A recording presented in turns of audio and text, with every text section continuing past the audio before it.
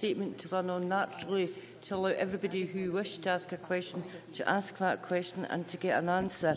That does mean that we're going to be very, very tight for time for the rest of the afternoon, um, so I hope you'll bear that in mind. So the next item of business is a debate on motion number 12769 in the name of Duncan McNeil on behalf of the Health and Sport Committee on Health Inequalities. Members who wish to take part in debate should press request speak button now. And I call on Duncan McNeill to speak to move the motion. Mr McNeill, 10 minutes.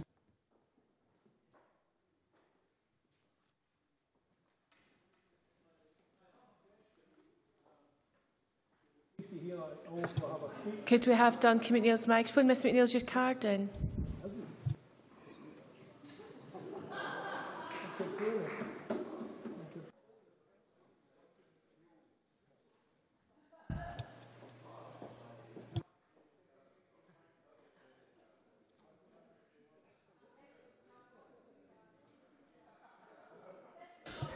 Order, please.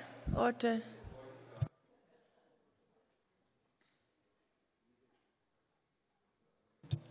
Duncan McNeil.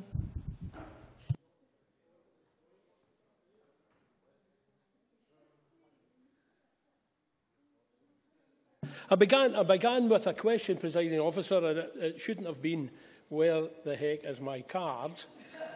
But I'll return to that question. Um, and, and, and I, I uh, indeed also have a speech. But let's, let me ask this. Can a society be too tolerant? The starter for 10 is Scotland too tolerant. You and I, whatever the colour of our political rosette, whatever our habits, hobbies, outside of here, whatever we had for our breakfast, are we too tolerant? Tolerance is not a bad thing, a good thing mark of any civilization worth the name. But at what point does it lapse into complacency or dereliction, fatalism, the acceptance of the unacceptable? And I'm talking about the indifference of the suffering of others, what Nye Bevan would have called social blindness. NHS, NHS Health Scotland has produced a graphic. It takes us along a journey eastwards along the Argyll line from Jordanhill to Brigton. I'll wave it about for your attention. With each stop of the train representing a drop in life expectancy, 1.7 years for men, 1.2 years for women. Some call this the Glasgow effect.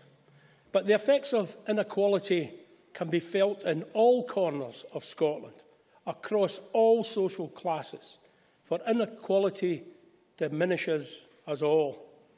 But then, of course, there are some more unequal than others.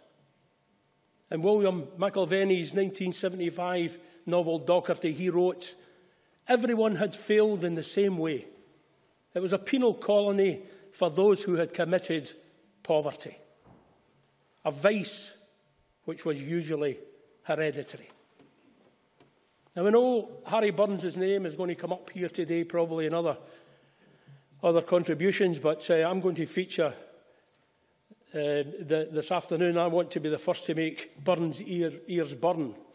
His and Michael Marmot's evidence to us on the committee was impassionate impassioned and compelling, and some of the more, most powerful evidence we've heard in this Parliament in 16 years. Our former Chief Medical Officer was evangelical about the early years. He told the committee about his daughter's gap year, teaching in Spain. Each morning, the five and six-year-olds queued up when the bell went, and each would give her, the teacher, a kiss and a cuddle before going into class. Now, there was no apples exchanged hands here, but it's fair to say, in that context, we don't always show our children such love and care. Perhaps we should.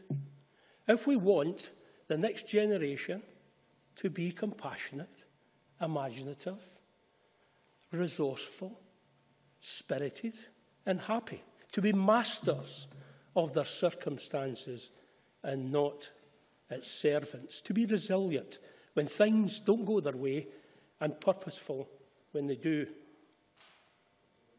You're not, you're not going to be able to fix this, Sir Harry told us, pointing his surgeon's finger.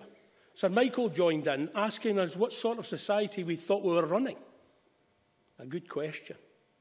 For over 40 years, health inequalities has been driven by a growing disparity in income, power and wealth. Successive governments in Edinburgh and London, ours, yours, theirs, none of us have dealt with this successfully. The Institute of Health and Wellbeing outlined three key domains employment, earnings and education. A hat trick of factors outwith the Health and Sport and Committee remit. Hence this afternoon's debate and our desire as a committee to draw others into this discussion. We knew the topic would be difficult when we began to consider an inquiry in 2012. Sir Harry told us it was much more complex than you think. He said the story of health inequalities was bedeviled by people who knew the answer.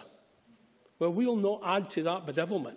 We don't have an answer, but we do have lots of questions.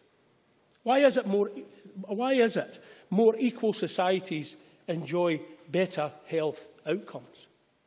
How important is community and quality of housing? Are the latest teenage pregnancy figures a sign of progress?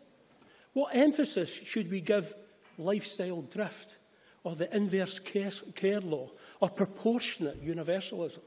When do our family stress levels become intolerable? Is a zero hours poorly paid, low skilled job better than no job at all? And where does the molecular biology of a hug come, come from in all of this. Don't panic, the presiding officer. We'll, we'll leave Sir Harry to explain that one to you.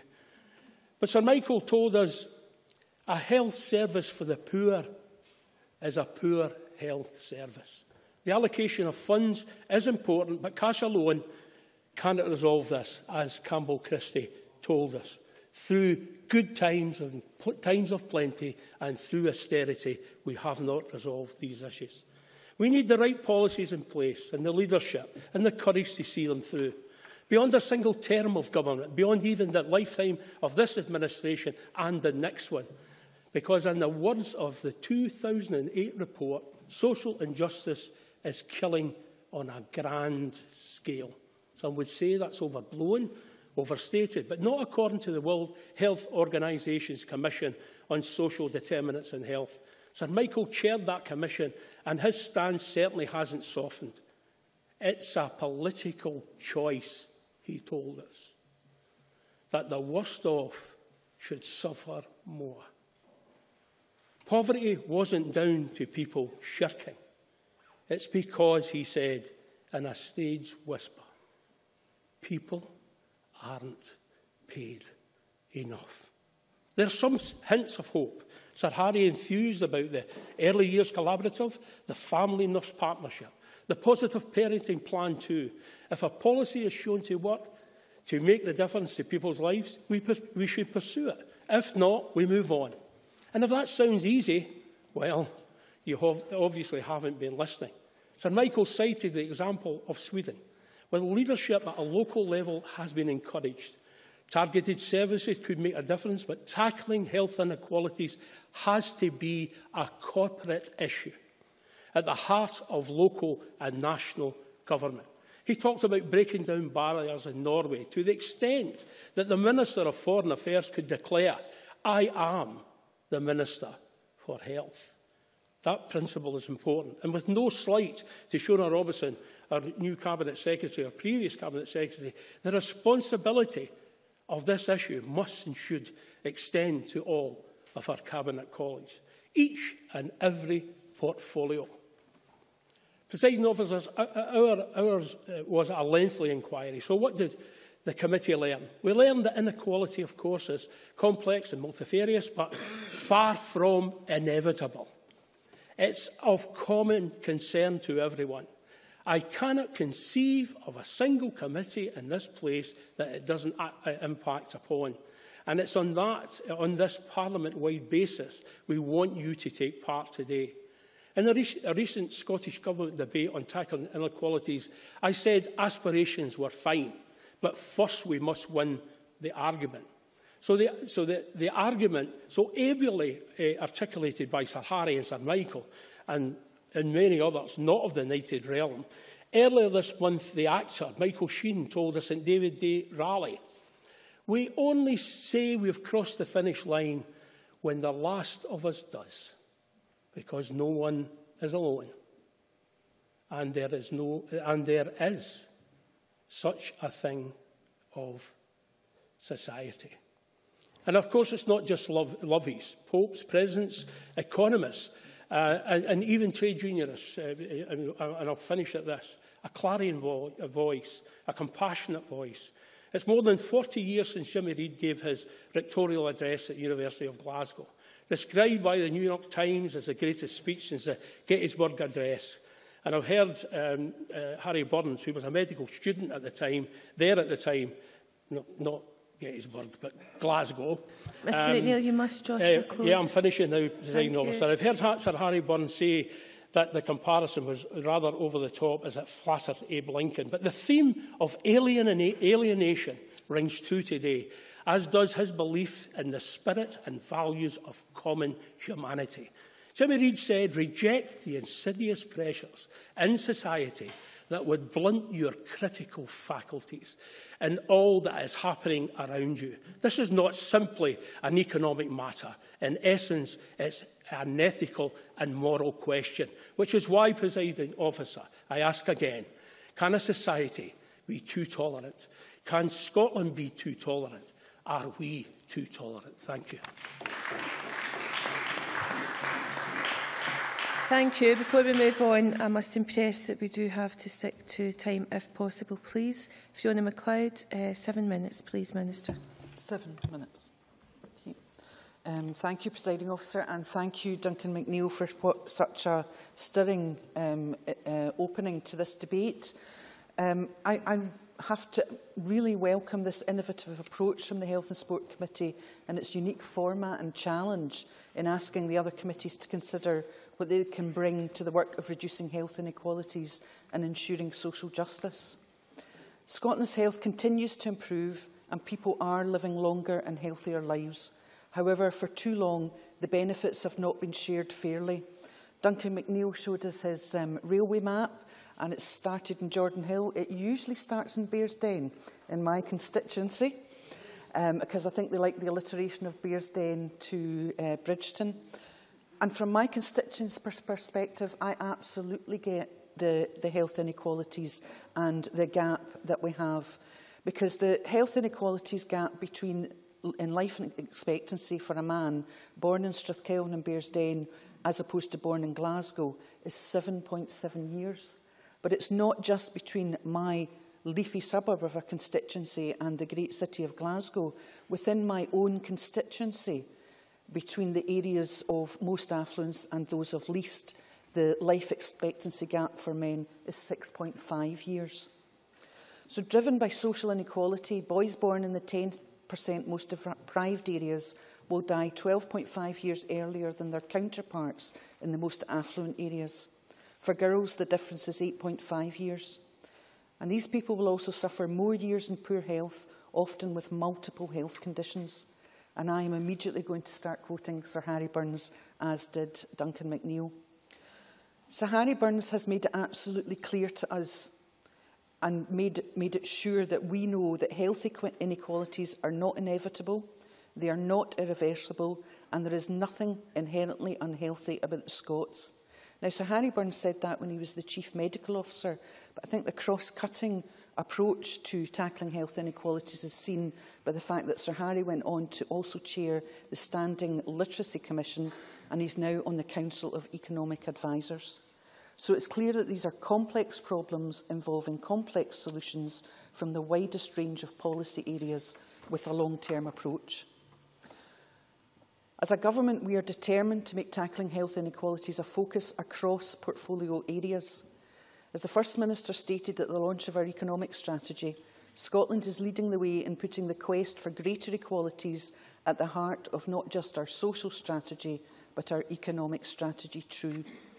We recognised the need for this cross-portfolio work way back in 2007, when the Ministerial Task Force on Health Inequality had and maintained a cross-cutting group of eight ministers. It recognised the role the wider public sector and others continue to play with representatives from local authorities. Equally well is jointly endorsed by COSLA, representatives from health, the third sector and academia. From the outset, our shared approach combined equally well with the early years framework and achieving our potential. These three social policy frameworks recognised that a child's start in life, cycles of poverty and poor ill health are all interlinked. The position they advocate continues to underpin our thoughts of pursuing early intervention, moving to prevention and breaking cycles of poor outcomes in people's lives. Since 2008, though, we have to recognise that the external environment changed, global recession and an austerity programme which have increased the risks of negative impacts being shared unequally across our population. Just last week, uh, the Minister for, for Health Improvement and myself were at the launch of uh, Voluntary Health Scotland's Living in the Gap report. And it was shocking to hear someone there talking about our children growing up with a food bank diet. And that can be illustrated in the rise of the food banks. And so I think it's important that we recognise that the Scottish Government, the action we've taken with £104 million committed during 2015-16 to mitigate welfare reform. The committee report covers benefits, so logically we should all be demanding the power over benefits here to this Parliament. I welcome the Health, Com Health and Sport Committee's interest, particularly their present examination of health inequalities and the early years. And so I would like to take a few moments to give you some examples of the significant work that we're already doing in the early years. The Early Years Collaborative has a number of key change themes, a few of which I would like to mention. One, early support for pregnancy and beyond. we set a stretch aim of reducing stillbirths and infant mortality by 15% by 2015. We have already met that target and are now working on how we can further stretch that stretch aim. Uh, we are investing 1.5 million um, to change health visitor education and to create 50 new health visitor posts this year. By 2018, we'll have invested 41.6 million over four years for additional health visitors to grow the workforce by 500 by 2018.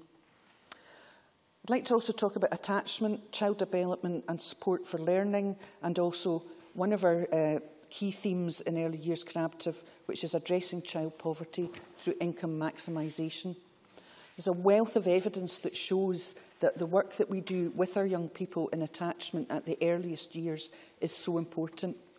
And we're looking at that through, as you all know, the 600 hours of uh, ch free childcare, which we hope to increase to 30 hours a week by the end of the next Parliament. We know that that's good for the child, it's good for the parents, it's especially good for the mothers, and it's especially good for their employment opportunities and therefore increasing and maximising their income. I did want to talk about BookBug and Play Talk Read, you'll not be surprised, um, but I fear I may not have enough time. But just Harry Burns and, and Duncan McNeil's talk about the molecular biology of a hug.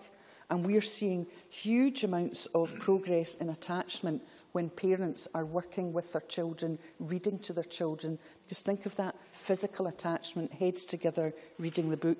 But it's also got incredible biological um, research behind it and uh, how it helps children's language. So to conclude, presiding officer, I look forward to hearing from the committee conveners today. I'd like to reiterate that it's collaboration, cooperation and close working is needed if we are serious that our shared ambition is to close the health inequalities gap. Thank you. Many thanks, Minister. I now call on Jenny Marra. Five minutes, please.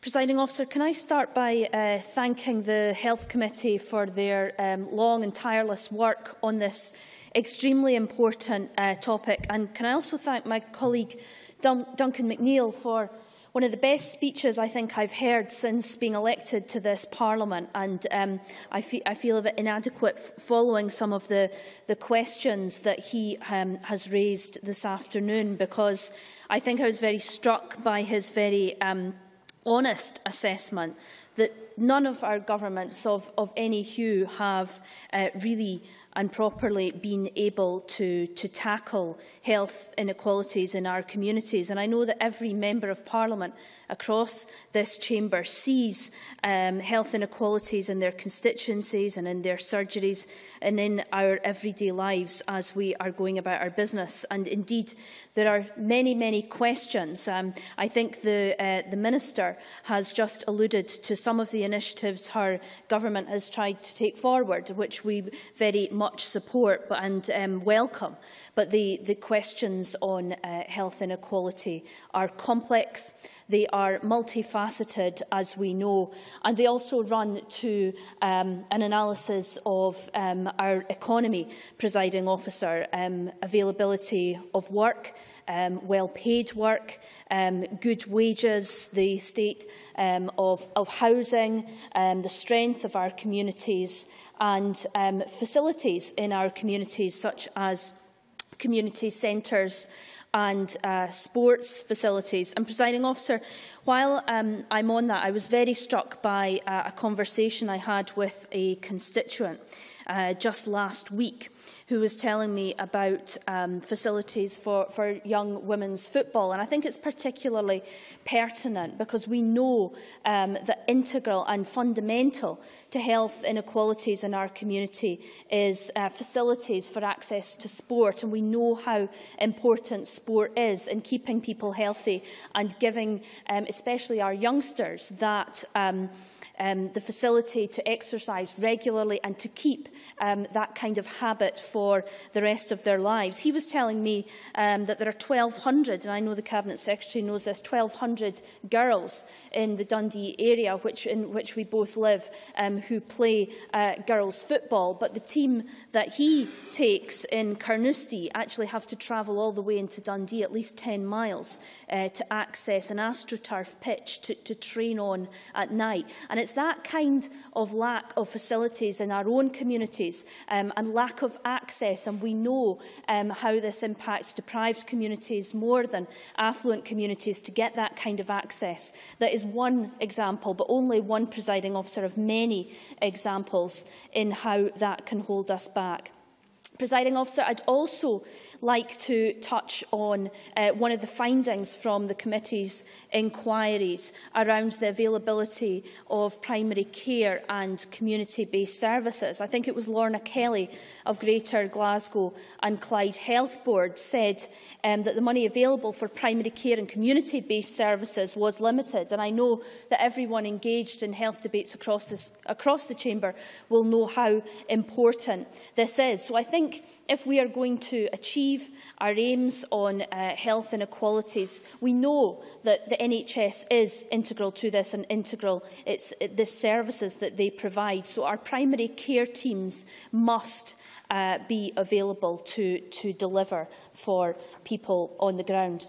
Presiding officer, earlier this week, Macmillan Cancer released figures showing that we are more than 10 years behind other countries uh, in Europe in cancer survival rates. And there is a clear link, as we all know, between cancer survival rates and poverty.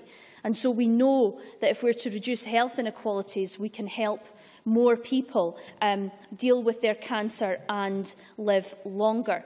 Presiding officer, we must make the case that it is in all of our interests to ensure those with poor health are given the support they need to lead better lives and improve their health. And we can see that these statistics from Macmillan Cancer, that whole 10 years behind other countries in Europe, show that we do have a long way to go. Presiding officer, um, I think the Health Committee's report, if nothing else, reminds us of the scale of the challenge that we all face across this chamber in closing the gap between people who have, have good health and those in poor health. But I'm optimistic that we are committed to this as a parliament in partnership and with other parliaments across these islands and armed with the wealth of knowledge that exists among all stakeholders who come to this parliament and lobby us and among the health experts that we can make serious inroads into this important area. But the services that our close. NHS do provide are integral to the solutions to this. Many thanks. And I now call on Nanette Milne. Five minutes, please. Thank you, Presiding Officer. The scoping exercise carried out by the Health and Sport Committee with the intention of defining the terms of reference for a possible full-scale inquiry into health inequalities soon indicated that these are rooted in much wider social and other issues, many of which are out with the remit of the committee or indeed of the NHS, and that such an inquiry would be unlikely to reveal, reveal very much beyond what's already been found by many previous studies. So that's why we decided to proceed with some shorter in-depth investigations into specific areas, such as teenage pregnancy, which have a bearing on health inequalities, and to ask other parliamentary committees to consider where their work might be relevant to dealing with this serious blight on our society. As we've said, Scottish successive governments have wrestled with this, but we still have the situation where a boy born today in East Dunbartonshire can expect to live for 82 years, whilst a contemporary in the East End of Glasgow is likely to die up to two decades earlier. And what's more, the latter will probably spend a longer period of his life dealing with poor health. And this difference doesn't just exist between different local authority areas, it also occurs within councils, between their least and most deprived areas. As NHS Health Scotland has pointed out, even my, in my own city of Aberdeen, widely recognised as very prosperous, there's a six-year gap in life expectancy for men and a four-year gap for women between the affluent parts of the city and the areas of greater deprivation. It's now recognised that the best way to tackle health inequalities is upstream, to use the jargon, by intervening early in life, indeed even before birth, rather than taking measures downstream to deal with problems which have already developed. The former, oft-quoted former Chief Medical Officer Sir Harry Burns, who is renowned for his work on health inequalities, emphasised to the committee the importance of early interventions, pointing out that children who experience adverse events early in life are far more likely to have mental health problems and are far less likely to succeed at school, creating a generational cycle of failure in a number of domains of living. And he concluded that unless we break this cycle by radically changing conditions of nurture, attachment and support for babies and their families, we'll not be as effective as we can be. This is where health visitors come in and why on this side of the chamber we were delighted when Alex Neil as Health Secretary decided to fund 500 more of them Because we've always thought that primary care practice-based health visitors are in pole position to help families right through from pregnancy and early years into school age, by which time lifestyle patterns have been set. They're ideally situated to pick up early on problems of development and nurture so that these can be tackled before it's too late and they can give support or enlist help for patients who are struggling to bring up a family in conditions of poverty, poor physical or mental health, and other factors like alcohol and drug addiction, which are often found within deprived and disadvantaged communities. However, whilst it's accepted that the health sector has a major role to play, this has to be in conjunction with other areas like education, housing, environment, work provision and income, clearly cutting across many of the areas within the remit of this Parliament. If real progress is to be made, as the BMA says in its briefing, significant efforts will have to be made across a raft of policy areas out with health and by different agencies collaborating and working more effectively together. Many children born into deprived communities are in households where up to three generations of the family have no work experience. And key to that cycle being broken must be education, so that future generations can learn the skills they'll need to become part of the workforce. It grieves me, coming from Aberdeen, where we face very significant skill shortages in an area with near full employment. That there are parts of Scotland with significant numbers of people who have no access to jobs, but who, with appropriate education and training, could achieve a successful life in well-paid employment in industries such as oil and gas, although I appreciate there are difficulties there just now, which I hope will be temporary, or other sectors like fish and food processing and hospitality, where Scottish people seem reluctant to become involved. Difficult though, life, though it may be, I'd like to see the Scottish Government exploring ways to try and link the areas of mass unemployment with areas where there's a labour shortage. because this could give, could give opportunities to people who've previously been written off with no real chance of earning a living and improving their lifestyles. And to me, it just seems so unfair that in this day and age that's still happening. Presiding officer, much work is currently being done by third sector and other organisations, all important in the collaborative approach so necessary to overcome health inequalities. Organisations like the RCN and Voluntary Health Scotland have important examples of achievement at local, community and personal level. And I'd just like briefly to mention Systema Scotland, whose big noise centres have been hugely successful in Raploch and Stirling, Govanhill and Glasgow, and work currently underway to establish one in Torry in Aberdeen, helping through music making to develop personal and community confidence and hopefully with a knock-on effect on health. I hope, Presiding Officer, I hope I've given you a little insight into what the Health and Sport Committee has been aiming for, um, with the need for cooperation across all sectors of policy. If we're to eventually overcome health inequalities in Scotland, we all want it, and I hope we can achieve it. Thank you very much. We have a slightly unusual debate this afternoon whereby most of the contributors will be the Parliament's conveners on behalf of their committees. Unfortunately, speeches of only four minutes, and I first of all call the Convener of Education and Culture, Stewart Maxwell, to be followed by John Pentland. Uh, yes, thank you very much. Uh, Presiding officer, I am speaking today as the Convener of the Education and Culture Committee. Our, committee, our committee is acutely aware of how inequalities can affect people's performance and participation in school, college and indeed university. We are in the middle of a year-long piece of work to consider how the educational attainment gap in schools uh, could be closed. As members are aware from recent debates, many different approaches have been proposed to bring about change in our schools. However, there is a commendable unanimity in the view that more effort is needed to ensure disadvantaged pupils do much better. No one, no one is willing to accept the current stark divide in attainment as inevitable. The differences in outcomes for our most and least disadvantaged pupils, least, least advantaged pupils, have been well aired recently, and members will be very familiar with some of the key statistics. Now, rather than simply restate these, I want to highlight some specific aspects of our ongoing work that will hopefully help to turn around these statistics. We have just held an evidence session on how the third and the private sectors can help to raise attainment, particularly for those pupils whose attainment is lowest. Next week, we will consider how parents and schools can best work together to raise attainment, particularly for those who perform least well. As members will have picked up, questions around inequality were built into our work from the outset. As a committee, we think this is the best means of ensuring such issues are given the prominence they deserve. We will also examine how the attainment levels of pupils with a hearing or visual impairment could be improved. There are significant inequalities in these pupils' outcomes, and we want to understand how they can be addressed. In theory, of course, with the right support, there is every reason to suggest that visually and hearing impaired pupils could do just as well as their peers, but up to now, that has not happened. This is not, of course, the first time that our committee has considered the corrosive impact of inequalities on the education system and children's life chances. Earlier this session, we held a major inquiry into the educational attainment of looked-after children in recognition that, comparatively speaking, this group's performance was particularly poor. That was especially the case for the, the group described as being looked after at home, whose results in school were the poorest of all. Members won't be remotely surprised to hear that looked-after children also tended to have poorer school attendance records and were less likely to go on to employment or further or higher education after leaving school. Not only that, but they went on to experience poorer health and lower life expectancy. That's the thing about unequal outcomes. They tend to come in a package.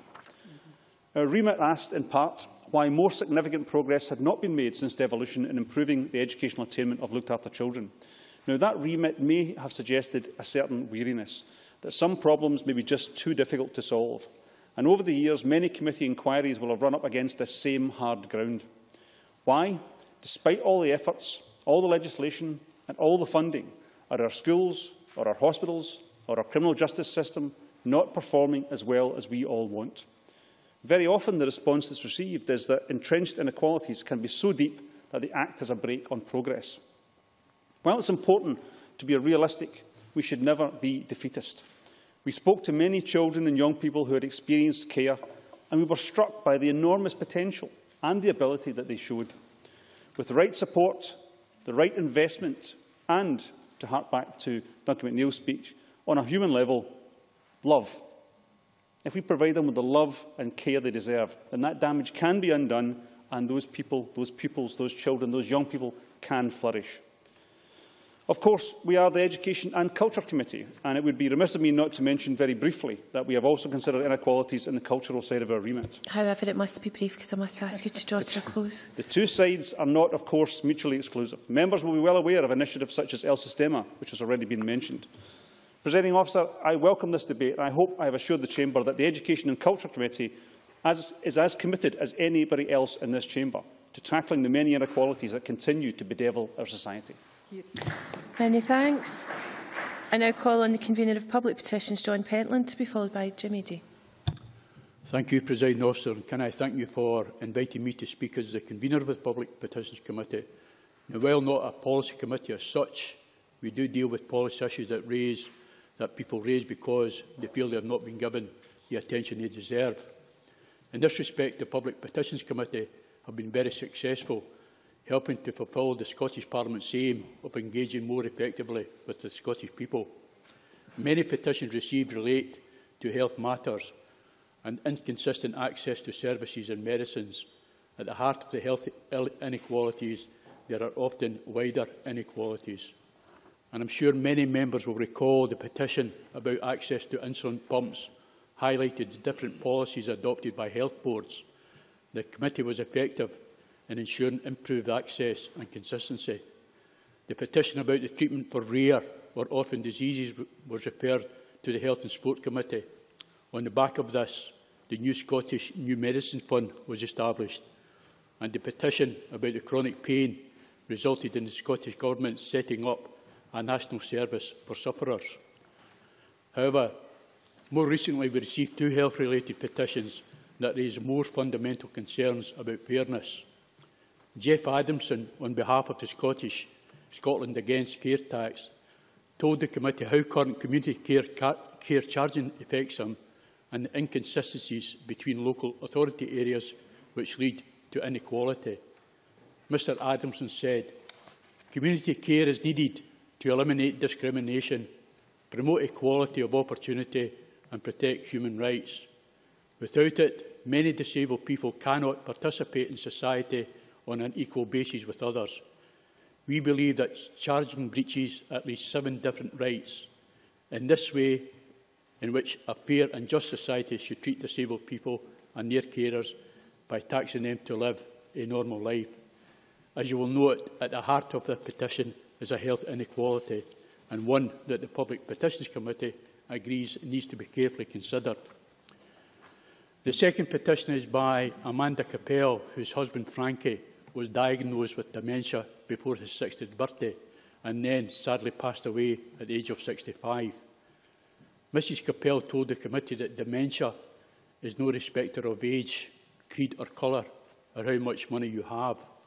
Frankie did not ask to be diagnosed with dementia, but I find that he is discriminated, against by having to pay for personal care because he's under 65.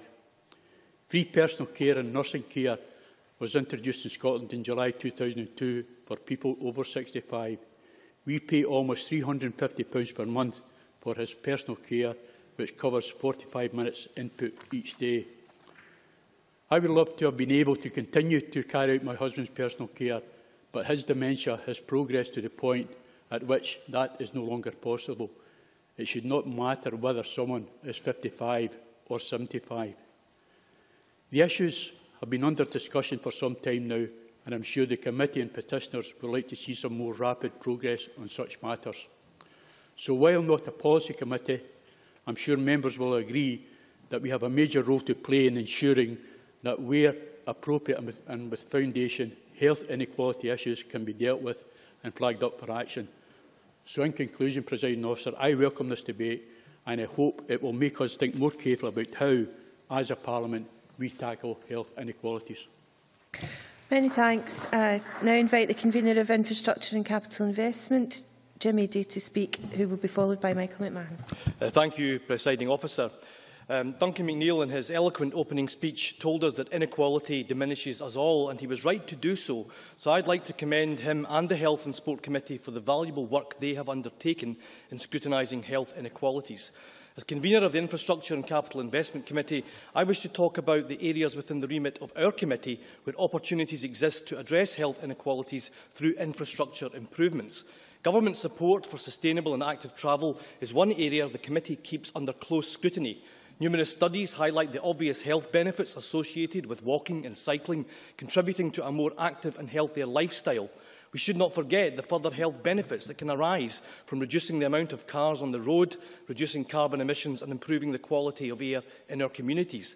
The, the, committee has heard from a range of stakeholders, including Cycling Scotland, Sustrans and the Lothian Cycle Campaign spokes about the need for further and sustained investment for active and sustainable travel and the need for all communities to have access to the appropriate infrastructure required, such as dedicated cycle paths and good public transport links.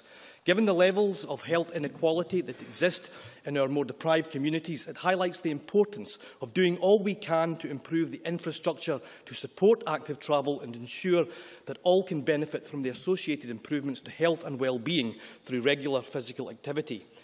We therefore ask the Scottish Government to re-evaluate the level of investment for sustainable and active travel and I therefore welcome the announcement in February by John Swinney, the Deputy First Minister and Cabinet Secretary for Finance, of an additional um, £3.9 million for cycling and walking infrastructure coming to Scotland through the Barnett Formula.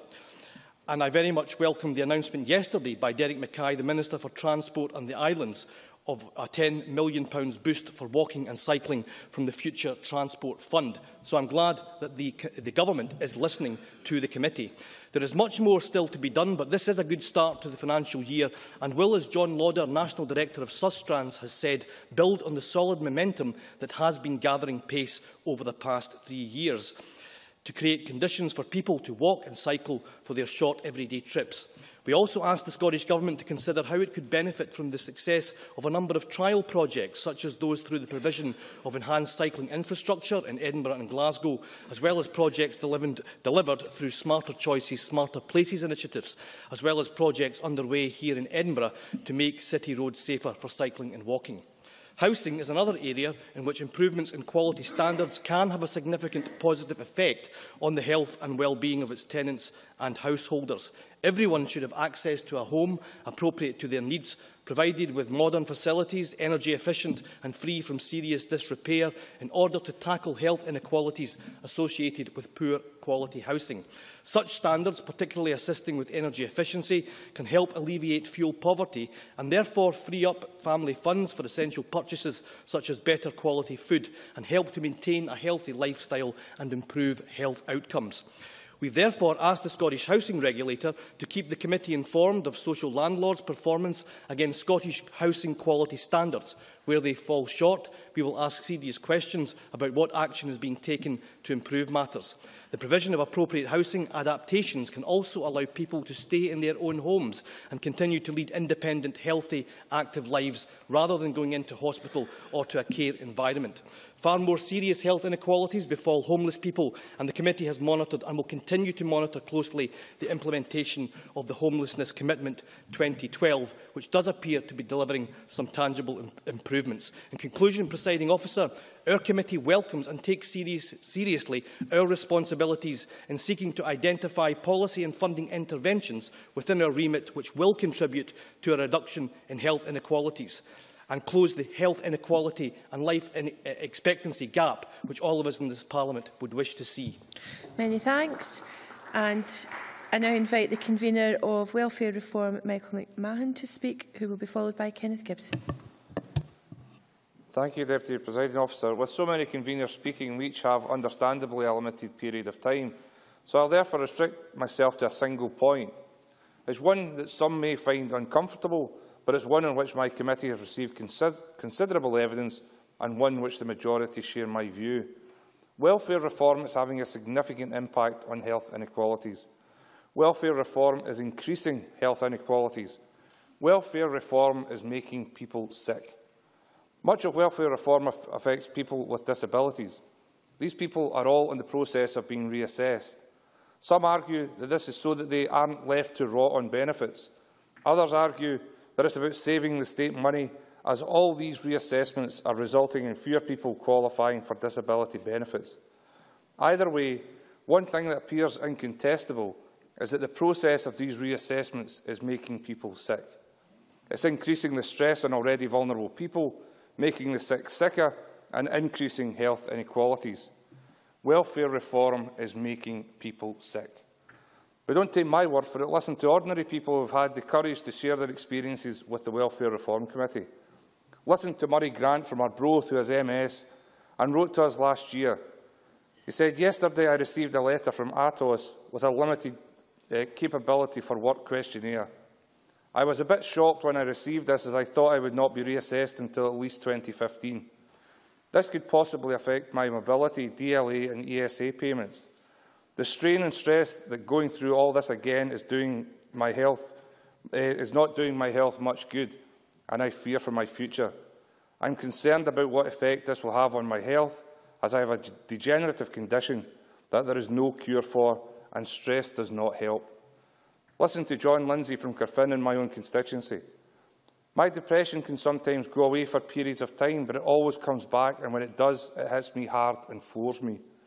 I've always had a certain degree of anxiety, but since 2011, it's got worse to, due to the horrific experiences of job seekers allowance and ESA.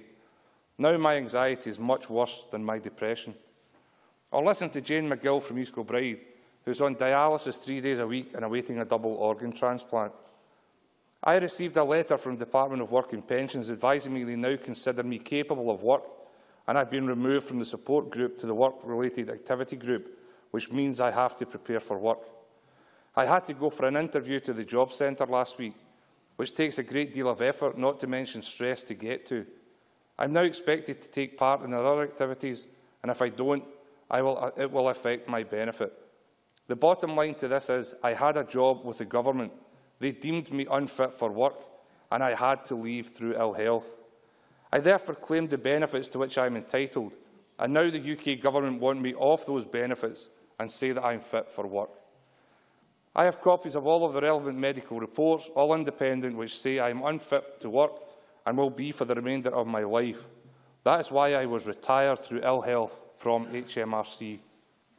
And most people accept that some sort of reform of the welfare system was necessary, and that includes the assessment system.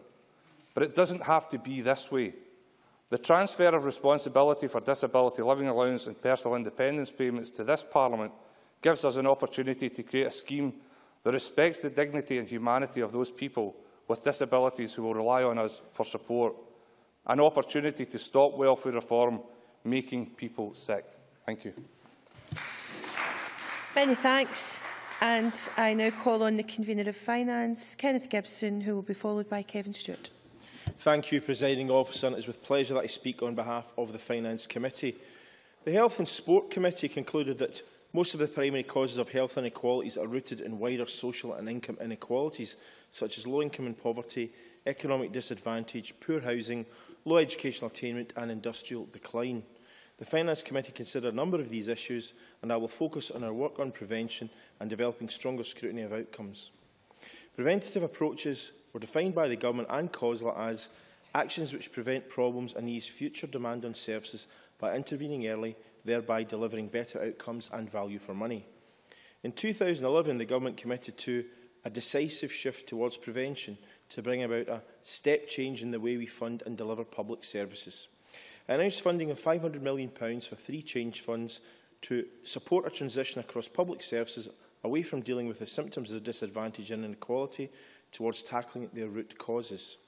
This would be achieved by leveraging funding from existing budgets to invest more in preventative approaches. The three change funds cover the early years, care for older people and reducing reoffending. Guidance on single outcome agreements states that SOAs should aim to promote early intervention and preventative approaches in reducing uh, outcome inequalities. In our scrutiny of draft budgets, the committee monitored progress in delivering this decisive shift. In evidence the Finance Committee, Sir Harry Burns spoke passionately of his belief in the importance of early years investment and the numerous benefits it could bring. However, we also heard other evidence from those responsible for delivery of frontline services about the problems that had arisen in maximising the impact of the Early Years Change Fund. To invest more in one area, one must disinvest in another, and the committee remains concerned that we have seen little evidence of any budgetary shift towards prevention. Turning to reshaping care for older people, the Change Fund was introduced to improve the way that public, private and third sector organisations work in partnership to deliver health and social care services. This approach was intended to reduce unnecessary hospital admissions and increase the capacity of community-based care through social and healthcare integration and joint working. Once again, however, we heard of the challenges faced in disinvesting and the relatively slow pace of progress compared to the ambitions we have. Another important part of our scrutiny is on how we link financial inputs to the successful delivery of outcomes. We accept that showing links can be challenging given the cross-cutting nature of the spending in question. With seven of the 16 national outcomes in Scotland performs identified as contributing to a healthier Scotland, developing a, developing a better understanding and analysis of the information we have is vital to discovering what is, and, as importantly, what is not working. The Government made clear that community planning partnerships would play a decisive role in the shift towards prevention. To do this, our public sector organisations must work effectively together. Again, the committee had evidence that whilst things are moving in the right direction, progress is slower than hoped. Indeed, one CPP told us they were now on the precipice of the next step. Clearly, there is a long way to go before we have truly joined up long-term planning aligned to prevention. Presiding officer, the topic of health inequalities is clearly a complex issue for which there is no panacea. However, it is encouraging that the cross-cutting nature of the problem has been recognised today and indeed in previous debates, and that so many committees are represented here this afternoon. Prevention is important in attempting to reduce health inequalities, and notwithstanding some of the issues I have outlined, the Finance Committee recognises that some progress has been made and supports the Government's approach to prevention. Thank you very much. And I now invite the Convener of Local Government and Regeneration, Kevin Stewart, to speak. And Kevin Stewart will be followed by Murdo Fraser. Uh, thank you, Presiding Officer, and I, I welcome the opportunity to participate in today's debate uh, and uh, to contribute to the widener, widening discussion of health inequality issues. And I commend Duncan McNeil and the Health and Sport Committee for securing the time for this debate today. Um, the remit of the Local Government and Regeneration Committee uh, has afforded us a number of occasions to look at health inequality and, and inequality in general. And we've worked in recent times in reports into public service reform and regeneration where inequalities have been highlighted. But because of the short period of time we have today, I'd like to look at some of the current work that we've undertaken in regards to the Community Empowerment Bill uh, and the air weapons uh, and licensing legislation that we are currently dealing with. And if we look at, at, at community empowerment, uh, the bill itself is seeking to address inequality by empowering communities. Uh, a number of submissions and witnesses, however, have suggested to us that communities with sharp elbows would end up with a lion's share of what was available, with perhaps outcomes being improved for one community at the expense of another. Uh, many of our recommendations focused on building the capacity of those communities less able to take advantage of the provisions in the bill. Uh, we've recommended that public authorities should report on the measures that they have taken to address inequalities between communities in their area to underpin the shift in focus to assist those with less capacity. Uh, the bill also places a duty on local authorities to provide a sufficient number of allotments to ensure that waiting lists are below a specified target. Uh, in response to our video on allotments, uh, we heard how allotment growing could co contribute to mental, mental and physical well-being, with one allotment holder telling us, and I quote, My mental health has improved greatly. I've had my medication reduced three times this year, and I'm nearly back to the licensed dose. I'm stronger and healthier than I have been in years. I'm eating well of fresh organic produce. I'm getting exercise. I'm making friends, something that I haven't been to, able to do for a very long time, if ever.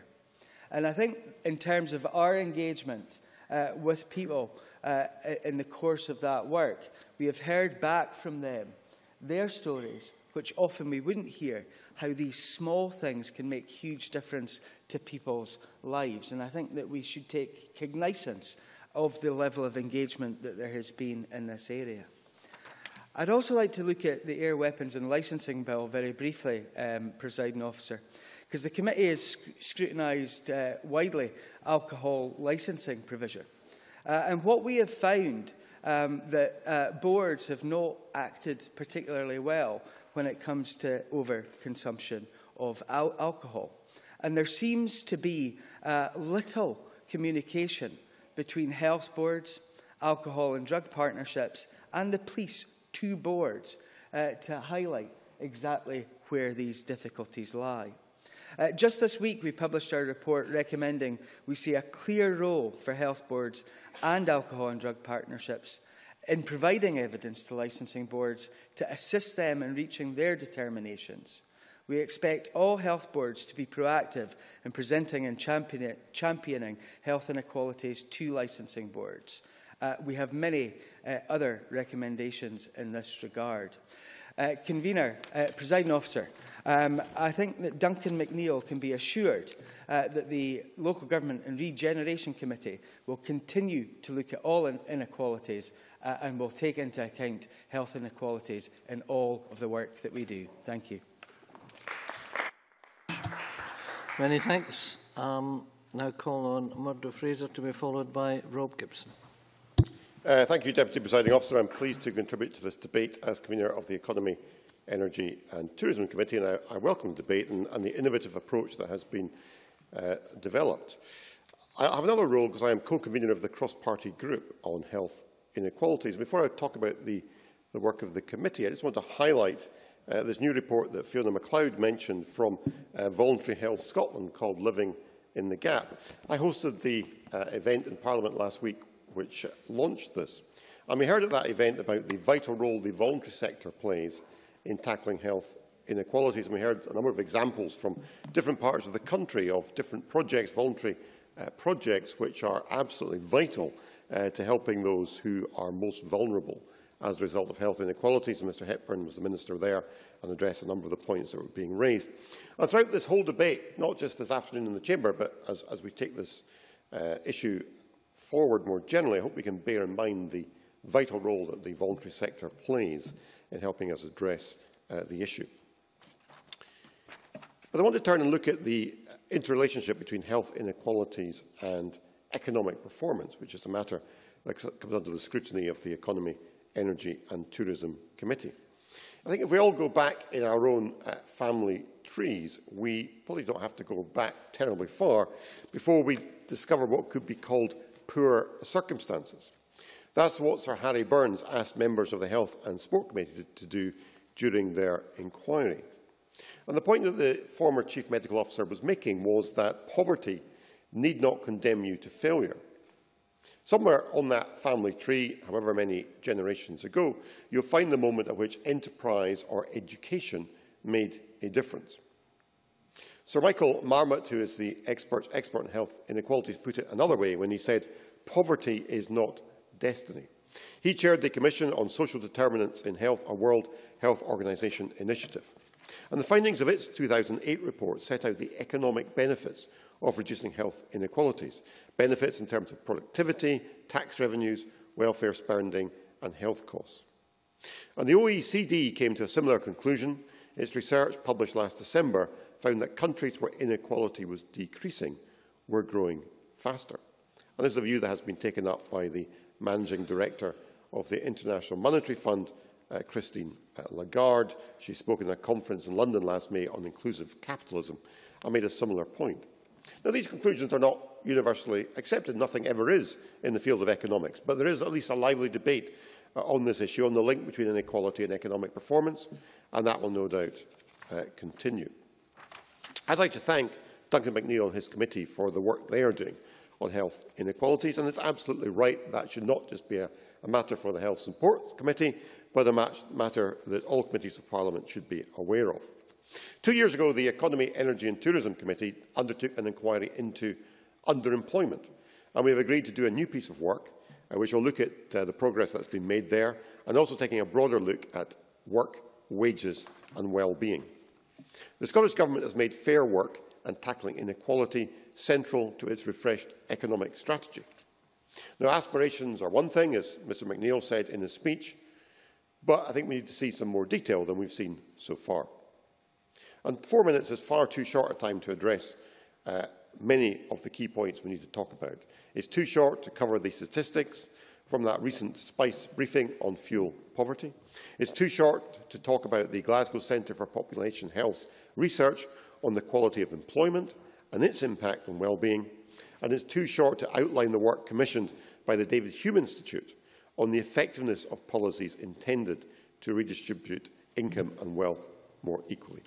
So today, Deputy Presiding Officer, we only scratched the surface, but I hope this is an issue we can return to. It is of such importance. Thank you. Many thanks. Now calling Rob Gibson to be followed by Christine Grahame. Thank you, Presiding Officer. Thank you very much. Um, on behalf of the Rural Affairs, Climate Change and Environment Committee, I'm delighted to take part in the health and inequalities debate. It's hugely relevant to many of the issues that to manifest themselves in a rural setting and fragile communities. Uh, there are four parts to what I wish to say briefly. Uh, climate change, uh, access to outdoors and Scotland's natural environment, life in rural areas and service delivery in rural areas. So fundamental to our life and future is being able to protect ourselves against rampant climate change and this Parliament's taken a united view that we have to tackle it seriously. So within that, there are equalities issues, without a doubt, where people have to be protected and that uh, poverty uh, is something which is created by things like flood risk uh, and the research which goes into trying to avoid that and the disruption to families that can occur as a result of floods in our communities is something which we have dealt with. Uh, the climate change adaptation programme of being able to get people uh, clued up as to how to deal with heat waves or the cardiovascular and respiratory diseases that arise from those are things which need consideration and much more research. Now, access to outdoors and Scotland's natural environment is perhaps the good news story, but unfortunately, not enough of our people do get out of doors. They do not get into even the land such as the Forestry Commission land which is close to our estates and the edge of our cities, but we're trying to create in central woods uh, forest network a means for people to use that for recreation. That's a part of our concerns. The Scottish Government should familiarise itself with further work uh, of organisations seeking to ensure the outdoors are accessible to all groups in society so that the disabled can also manage to get there. Uh, disabled adults use uh, the outdoors only 64% of them compared to 80% of non-disabled adults. The service delivery in rural settings is something which also has a huge uh, bearing on the uh, health inequalities. Presiding officer, one issue uh, we've done work on is broadband provision in rural areas which can impact on health issues by not making telehealth easily available to people in the most remote areas where broadband should have been installed first. But uh, during the budget, the committee highlighted concerns about rural areas in Scotland with little, poor or no broadband uh, uh, uh provision, and I think we've got to make sure that that is rectified. But living in a rural area can, help, can damage your health in a lot of other ways. Living in temporary accommodation, like caravans because of seasonal lets, or no access to the ground to have a house or no access to land on which to build a house are all matters in the rural areas that have a huge bearing on life. And therefore, we wish to see many of these tackled. But life in rural areas can also be dangerous. Agriculture is the, the riskiest occupation by industry sector in terms of fatal injuries. And mental health issues are there too. But I would suggest that uh, issues like dyslexia, which have been debated recently in this Parliament, are very prevalent amongst farmers and raise stress levels and therefore affect people's health. But in conclusion, I think we should have some watchwords that are important to us all. And I'd like to quote Nye Bevan in that respect, because he said in a capitalist society, Either poverty will use democracy to win the struggle against property, or property in fear of poverty will destroy democracy. That is as true in rural areas as in the uh, cities. Must and close, therefore, please. we must make sure that a more explicit link uh, between the national performance framework and equalities issues are made in the government's programmes. Thank you. Thanks so much. I now call on Christine Grahame to be followed by Margaret McCulloch. Thank you, Deputy Presiding Officer. I welcome the opportunity to speak in this debate on behalf of the Justice Committee. Our committee has a strong track record for considering health inequalities and inequalities at large as part of our work. And there are a myriad of examples in our penal system, drugs, alcohol abuse and so on. We considered health inequalities during our 2013 work on transfer of prison healthcare from the SPS to the NHS. And by healthcare, I include mental health problems. And again, the prison population has a disproportionate number suffering from these. This led to a series of fact-finding visits to prisons. One key issue that came through during those visits was the problem that offenders had gaining early access to a GP immediately upon release. Indeed, many simply didn't have a GP and so quickly lost the benefits of prison healthcare, and in particular, removing them from drug and alcohol addiction.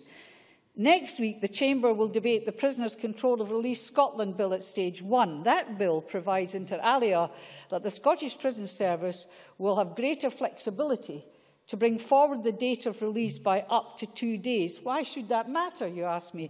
Well, this will allow them to improve through care to prisoners on release, because if you release them on a Friday, everything's closed the housing department, the benefits system and even GP practices. So they will now be able to access these on release because those are the very important hours simply when you come out of prison. This is a positive step. And I call on the prison service and the NHS to ensure that people released from prison are able to be registered with a GP in their home areas as quickly as possible. We also considered health inequalities during a one-off round-table evidence session in August last year on the link between brain injury and the criminal justice system, which led to a brain injury and offending workstream being tasked by the government, looking at issues raised in our session and reporting in summer 2015, because often people with a brain injury, their behaviour may give rise to criminal prosecutions, and the link is not made. And of course, imprisonment itself uh, leads to health and other inequalities. And indeed, I think it's very apposite that we have families outside, it's the families of prisoners represented because they are affected as well by someone in prison. But to be frank, much of the remainder of this session will be devoted, as usual, to scrutiny of bills. As we carry out that scrutiny, we do so well aware that the impact of justice reforms on other matters such as health inequalities and human rights For example, the health impact on individuals who are trafficked, I hope will be addressed following that legislation, if the Parliament votes it, coming into force, by identifying victims earlier and protecting them from the traffickers, who often are reasons why they don't say they are being trafficked. We might also have the Community Justice Bill, referred to as by the Bureau, and there will be opportunities there to address inequalities in health. But of course, all legislation, to be frank, doesn't lend itself to looking at health inequalities. But when it does, the Justice Committee makes every effort to deal with it. But I think the last thing the Convener of the Health Committee would be is want tokenism from other committees. But when it is relevant, we certainly build it into our programmes. Thank you. Thank you. Now call on Margaret McCulloch to be followed by Christina McKelvie. Thank you, President Officer. As convener of the Equal Opportunities Committee, I welcome the debate today on this very important topic.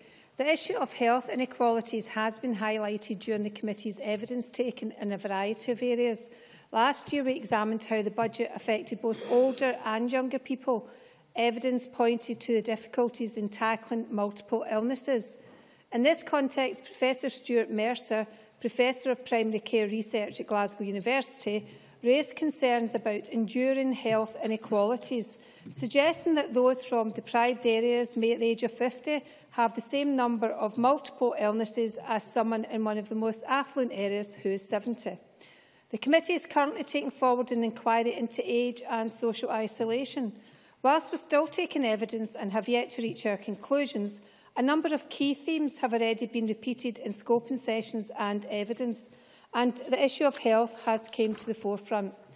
We have heard of the impact of social isolation on the health and well-being of a range of people. Evidence received to date touches on the health aspects and the related equality issues of social isolation. The Chief Executive of the Food Train, Michelle McCrindle, has told us that research has found just over 10% of those over 65 are often or always lonely, and that figure rises to 50% for the over 80 age group. Research has also found that just over 10% of over 65s are at risk of malnourish malnourishment or are, man or are man malnourished. For the purpose of the research, this means a body mass index of less than 18.5. The food train believes it is not mere coincidence that the same number of older people are affected by mal malnutrition and loneliness.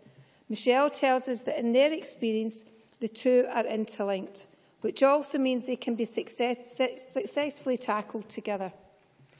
The food train has pointed out that food and eating are hugely social activities and that, they are, and that they see tremendous improvements in older people when they are supported with food access. They eat more, eat better and find motivation for food again. When you add in additional socialising support such as befriending, the opportunities for improving food intake increases even more. The feedback from older members using their services is that they eat more than they would have previously, enjoy food more and are feeling better physically and mentally as a result. We have heard of similar important projects that are essential to tackling the health problems associated with loneliness. For young people, we've heard of the crucial nature of early intervention and health considerations from a range of groups, including Home Start and the Scottish Commissioner for Children and Young People. The mental health of younger, younger people in vulnerable situations has been drawn to our attention both formally and informally. Polly McIntyre of the Scottish Commissioner for Children and Young People's Office told the committee in evidence of a recent example of a young person with severe mental health problems.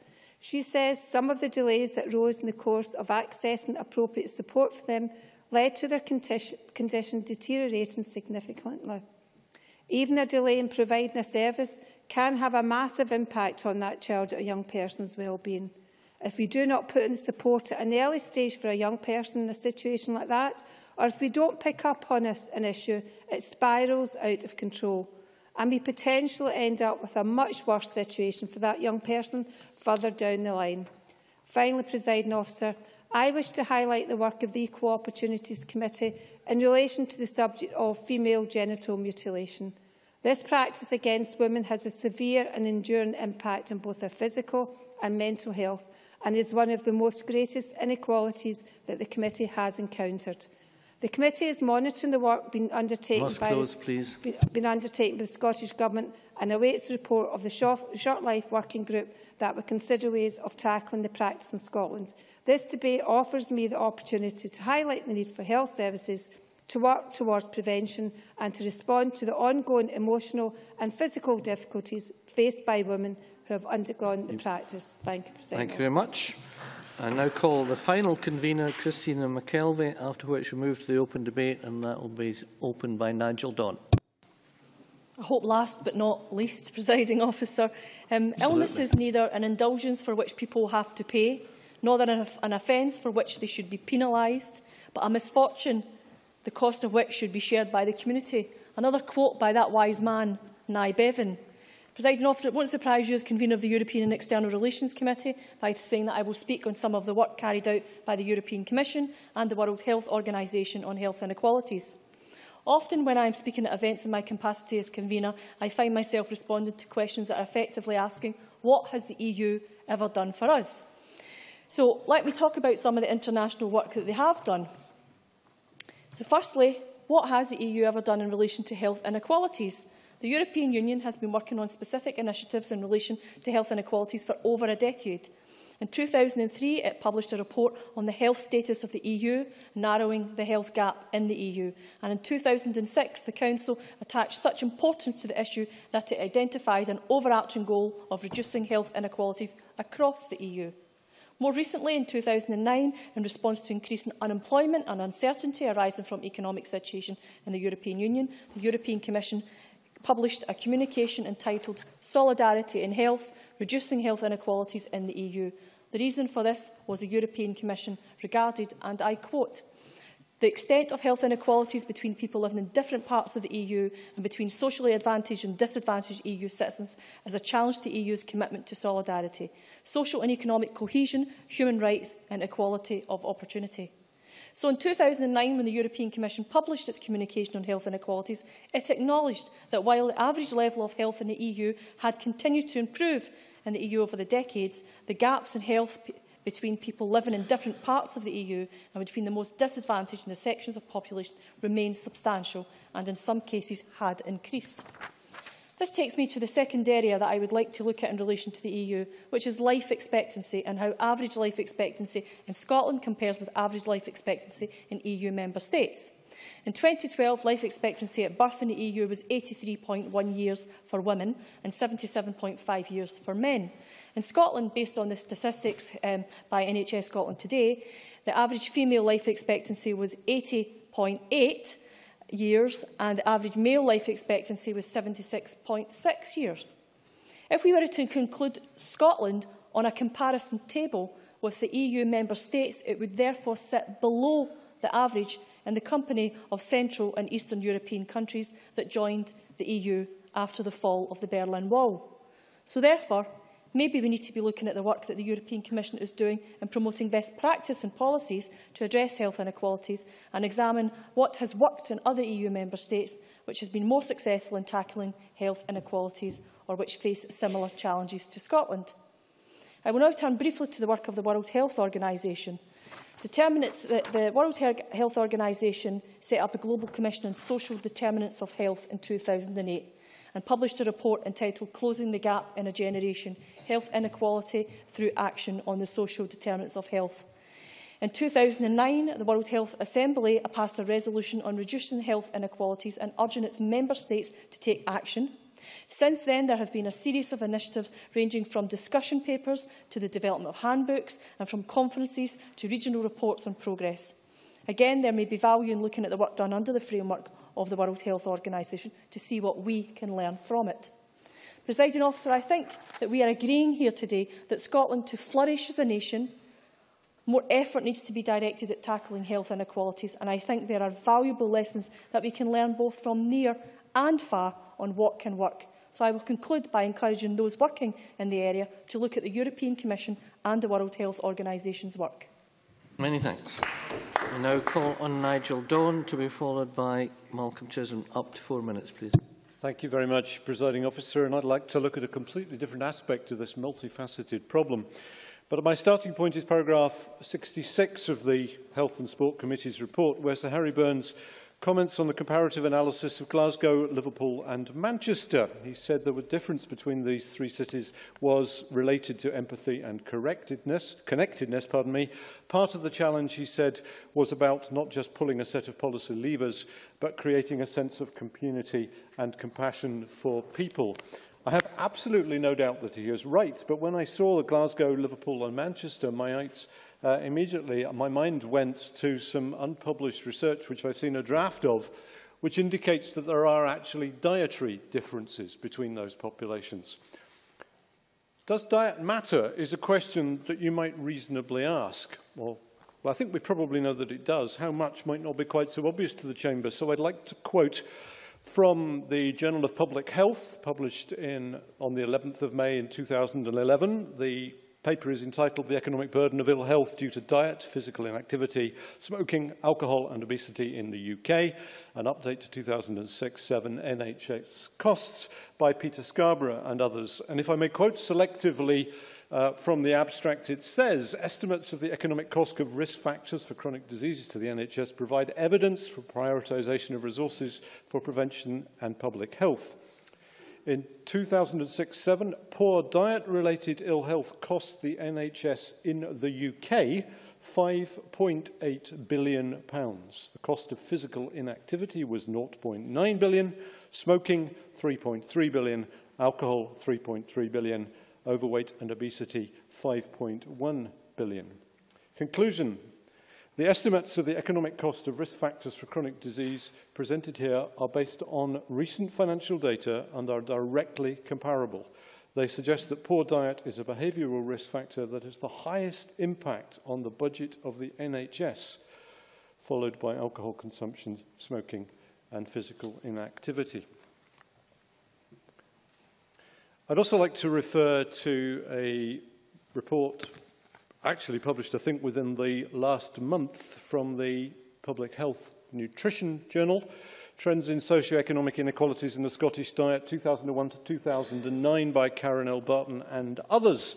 Again, selectively quoting from the abstract presiding officer, daily consumption of fruit and vegetables, brown and wholemeal bread, breakfast cereals, oil-rich and white fish were lowest, and the consumption of total bread highest in the most deprived compared with the least deprived households, respectively, for the period 2007-9. The conclusion is important.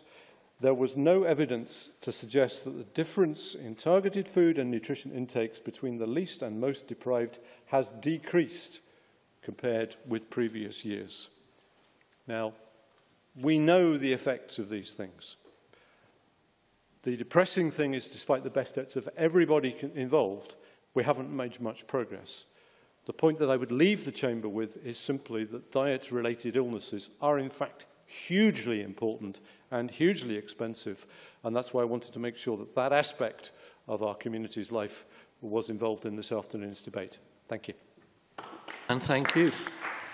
I now call on Malcolm Chisholm to be followed by Dennis Robertson. Presiding Officer, Labour's first Scottish Public Health White Paper in 1997 emphasised the primacy of social circumstances as a cause of health inequalities, as had the Black Report 17 years uh, previously. But it's fair to say that under both Labour and uh, SNP uh, in Scotland since then, there has been a bit of that lifestyle drift that uh, Duncan McNeil talked of, important though downstream lifestyle factors are. But I think it's really important to reaffirm the importance of upstream societal factors and upstream action in order to combat health inequalities.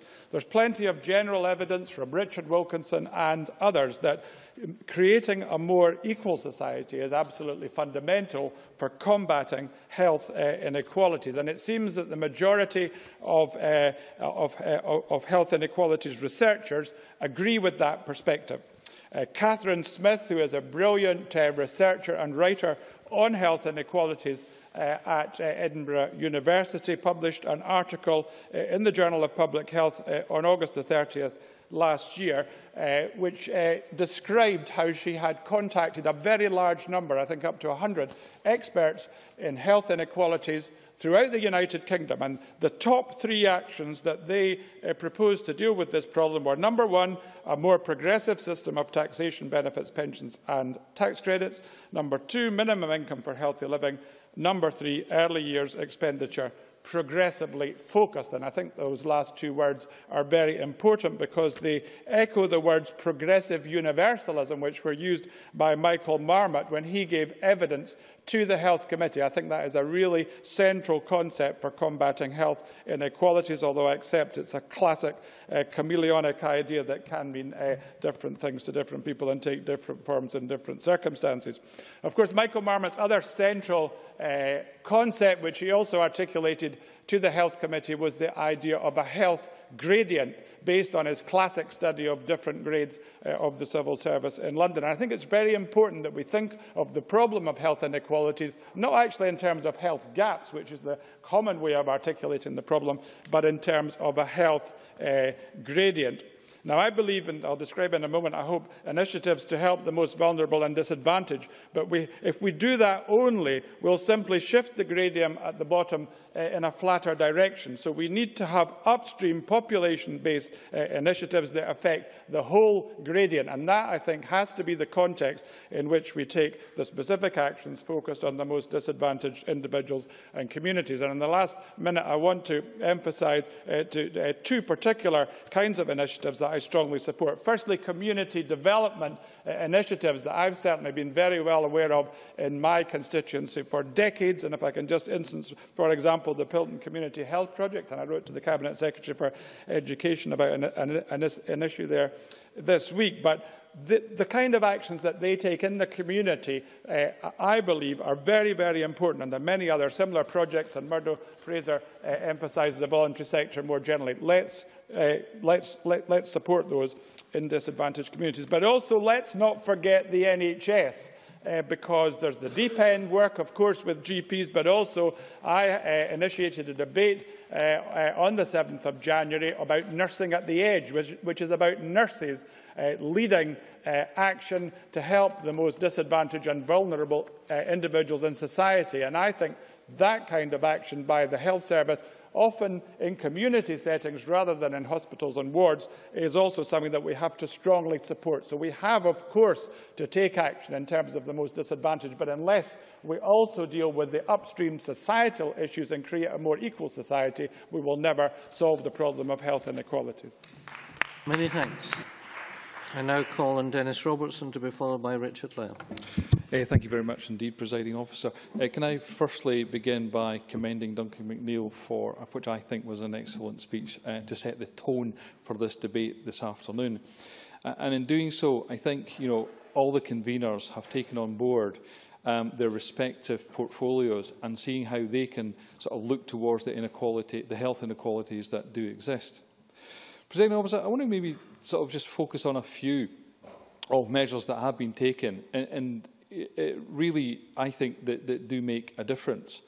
For instance, free eye tests, I believe, actually makes a difference to the health inequalities.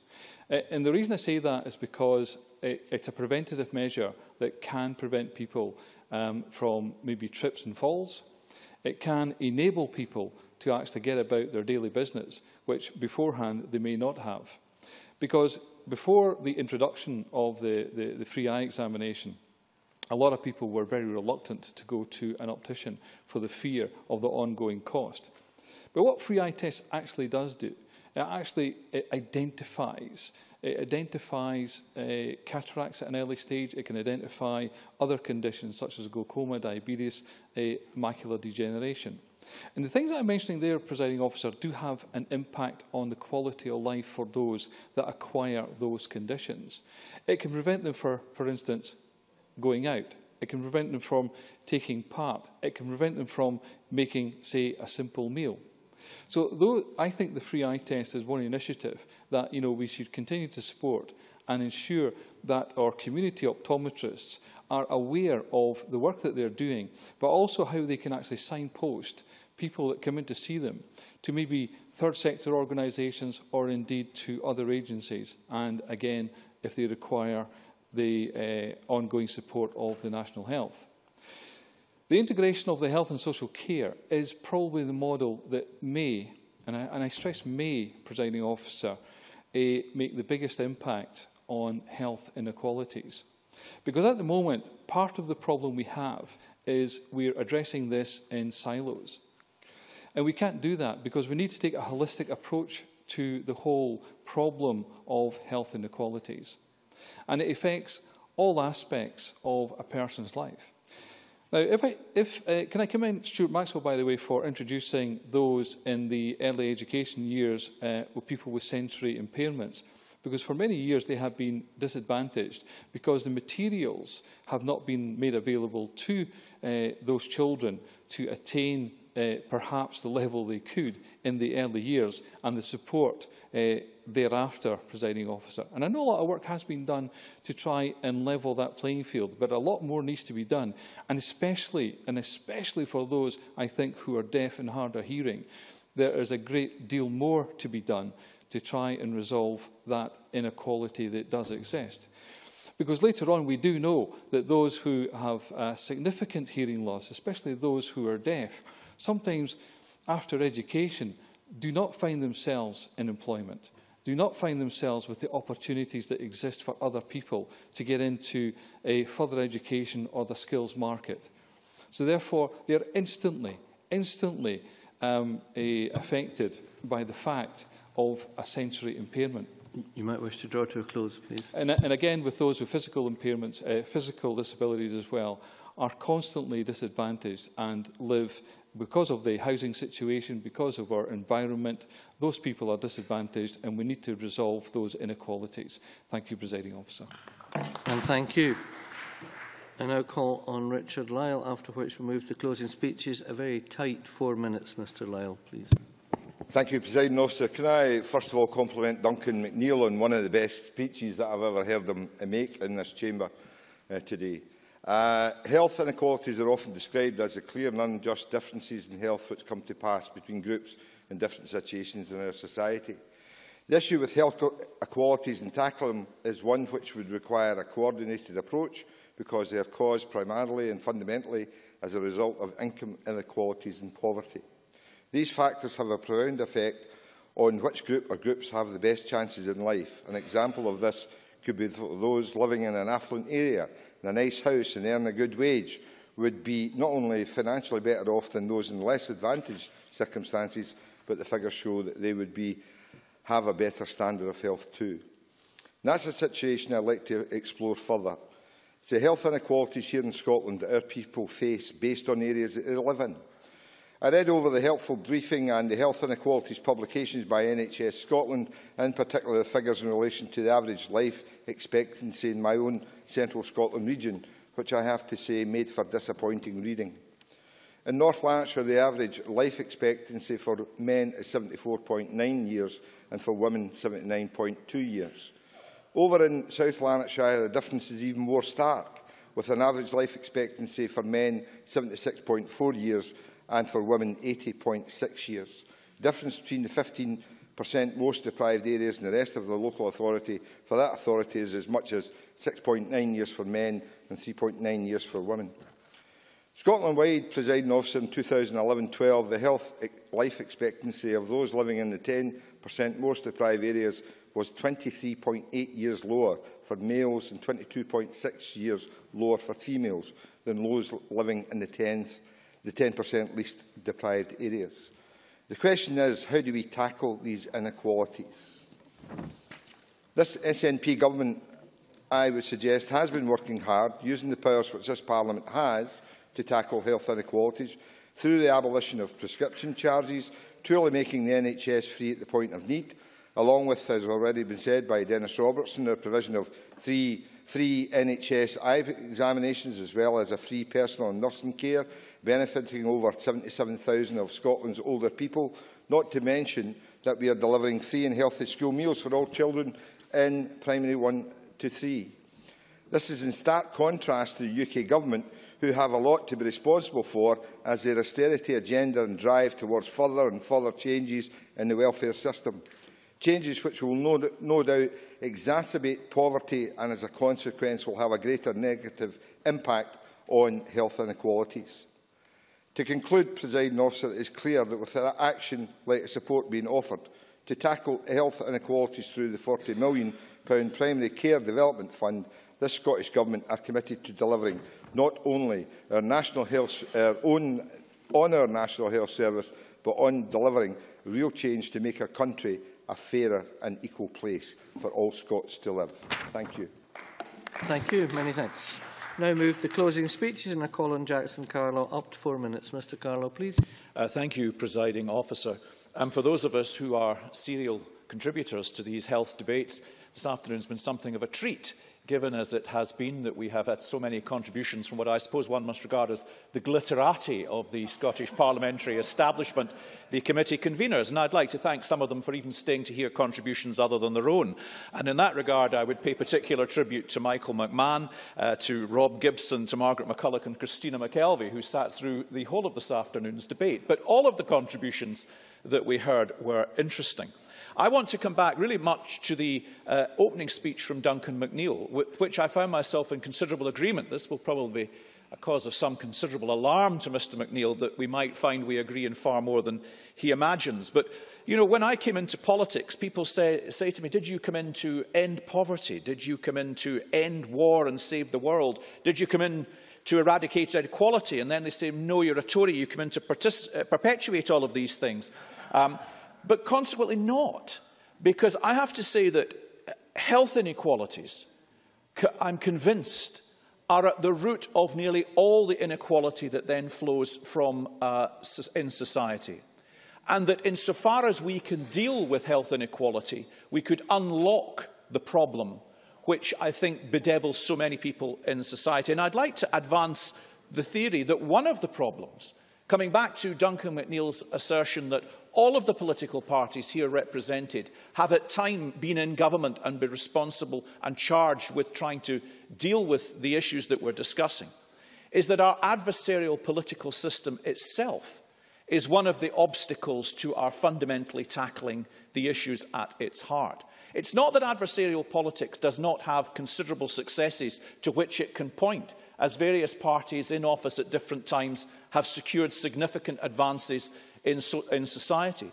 But when I look at the whole NHS debate that we have in here, and the recognition, I think, across the chamber, gradually that what is undermining our ability to move forward with an agenda that would create a sustainable national health service is our need as politicians to fall back on that adversarial approach because we live in a kind of political system in which votes are won by so doing and arguments are somehow buried, albeit we all recognise the far greater understanding there are in many of these issues between us.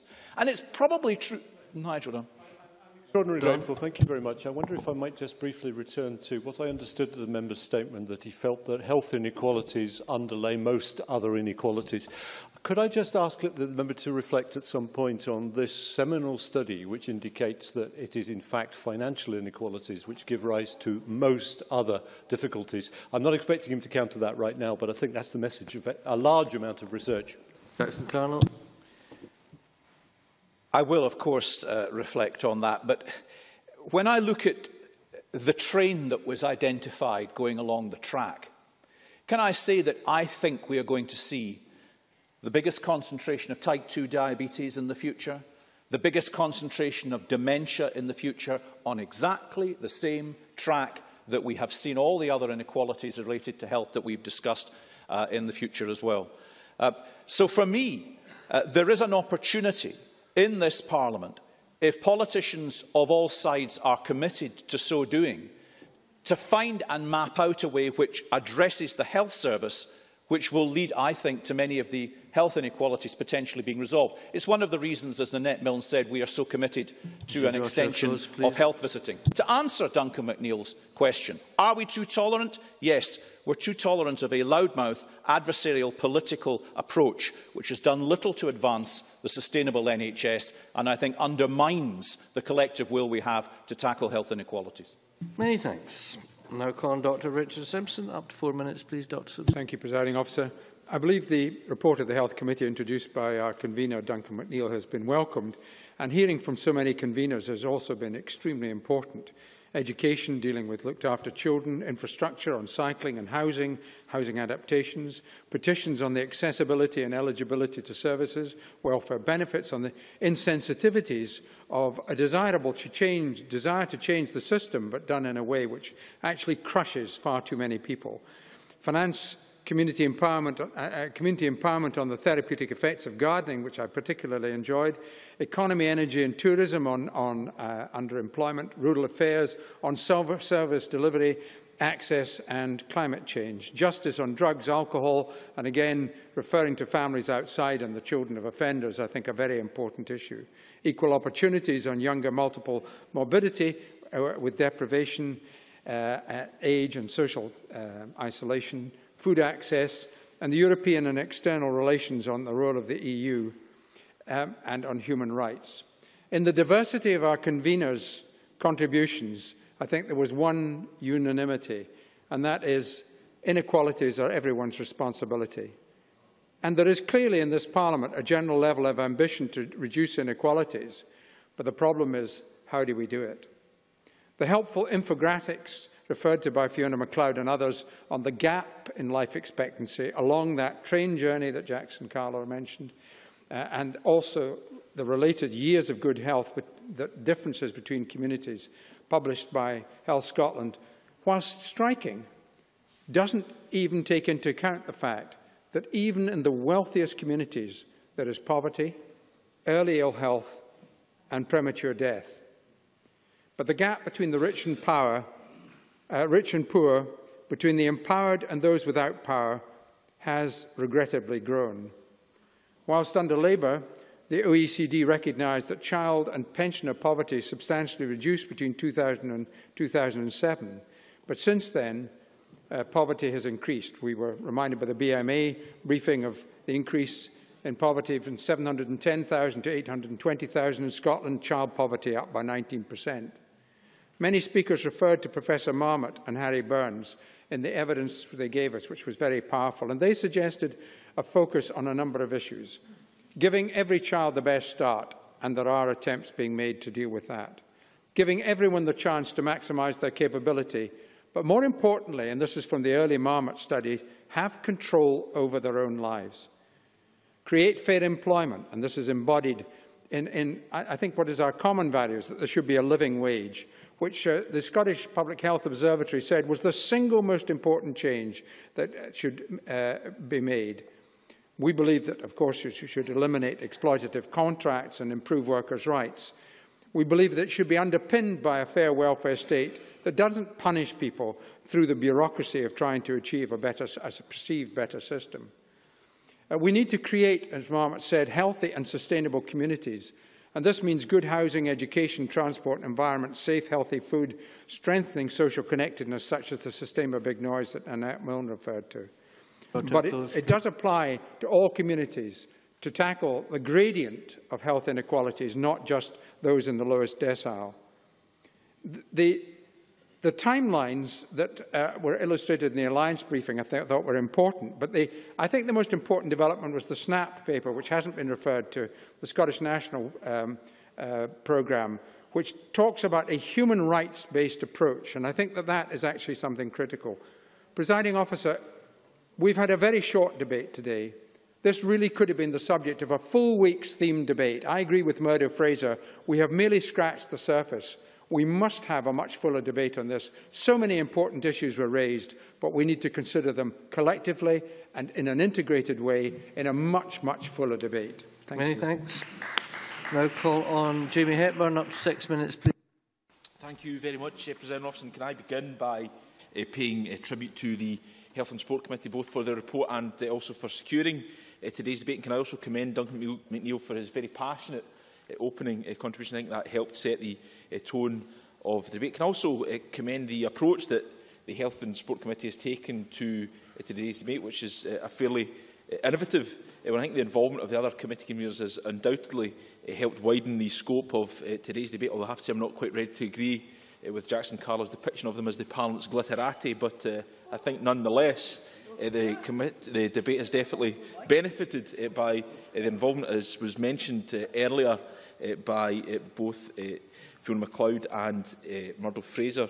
Uh, I recently took part in the uh, reception that Murdo Fraser uh, hosted for Voluntary Health uh, Scotland. And can I say in passing, I agree very much with the point that Murdo Fraser making that the voluntary sector has a huge role to play in this uh, uh, challenge. But uh, their report, uh, Living in the Gap, the central message from that was health inequalities are everyone's uh, business. So on that uh, basis, it's very welcome that uh, so many of uh, this Parliament's committees have engaged in this uh, debate today, and uh, I'm sure that interest and involvement will extend uh, beyond uh, this uh, debate. Uh, very briefly. Dennis Roberts. Very brief, Minister. Does the Minister also commend the work of the cross-party groups within this Parliament? Burn. Of course, I, I commend uh, the work of uh, uh, the cross-party groups in this uh, Parliament, uh, President Officer.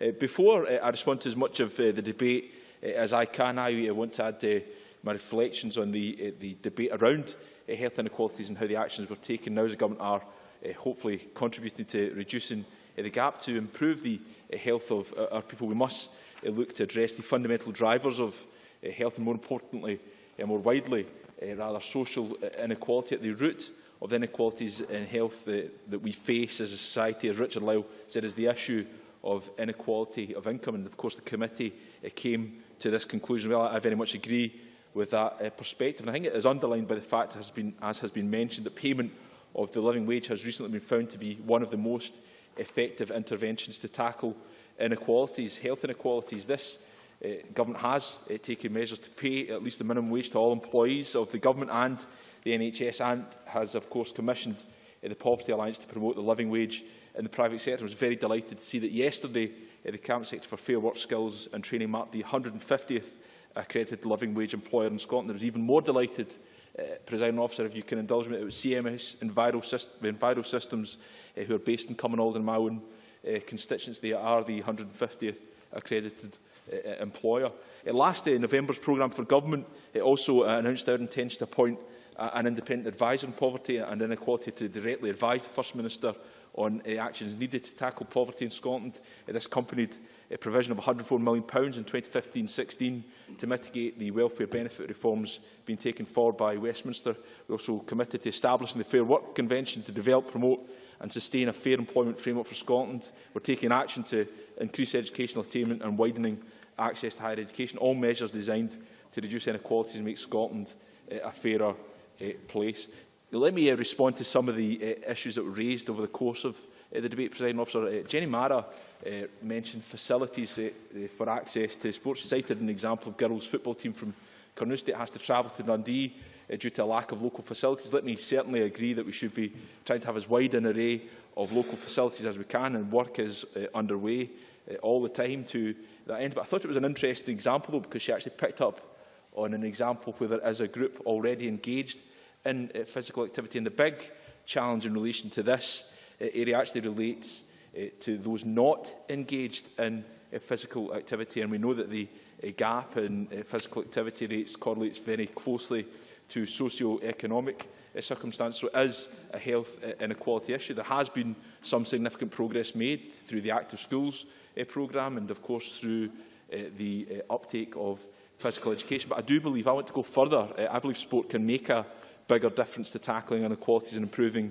outcomes. Sport for development uh, in Scotland uh, is a, a concept that is about to, trying to intentionally deliver uh, social impacts for individuals and communities through uh, sporting uh, activity. During uh, Legacy Week, I was very happy to visit uh, Active East in Deniston, which is delivered by Scottish Sports Future, very much engaged in this uh, concept, delivering good outcomes for the uh, youngsters uh, they are uh, working with. And I believe that we can use uh, sport to make a positive difference in tackling uh, Scotland's health inequalities. And that will be much of the work I take forward as uh, Minister with responsibility for sport. Michael McMahon, uh, the convener of the uh, Welfare Reform uh, Committee, and of course I have to uh, respond to his remarks as a former uh, deputy convener, to that committee. I, I agree very much with the uh, perspective he set out that the UK government's welfare reforms are negatively impacting on people and are exacerbating uh, health inequalities. Of course, uh, this government, where we have uh, responsibility is uh, uh investing to support vulnerable uh, people. Our current and planned uh, funding will result in an investment of around £296 million pounds over the period 2013-14 to 2015-16. Uh, of course, uh, uh, if only we could do more, uh, President Officer, I see I'm running out of time, as is always the case in uh, these debates. Uh, let me say uh, to uh, the committee, I will uh, be responding in fuller and writing to them uh, uh, in to relation to their report, and I'll try and pick up on other uh, aspects that I've not been able to pick up in relation to uh, today's uh, debate. But I very much uh, welcome uh, the tenor of uh, today's debate. I think it shows that this is a shared commitment. I look forward to uh, working with the Health and Sport Committee, every committee of this Parliament, every member of this Parliament, to do what we can to tackle Scotland's health inequalities. Many thanks. And I now call on Bob Doris to wind up the debate on behalf of the Health and Sport Committee. Mr Doris, you have until five o'clock. Okay, thank you very much, Presiding Officer. Can, in summing up, can I pay tribute, as everyone else has done, to our committee convener, uh, Duncan McNeil, for the tone he set in the opening, and I think the work of the Health and Sport Committee has been maybe the best kept secret in this Parliament over the years, and some of the sterling work we've done, getting on with it, the job at hand, irrespective of uh, party politics and finding solutions and finding ways forward. I hope the convener agrees with that. If, if we see health inequality is simply a matter for the Health Committee. The Health Minister, the Health Team and the NHS will never fully tackle the issue. That is why the Health and Sport Committee has sought this innovative debate format where we can, we can hear from all the conveners of the various committees. And on behalf of the Health and Sport Committee, can our committee thank you for all your time and your efforts, but also to say to you we see this as a starting point, not an end point, and that this official report shouldn't just gather dust on a, on a shelf somewhere.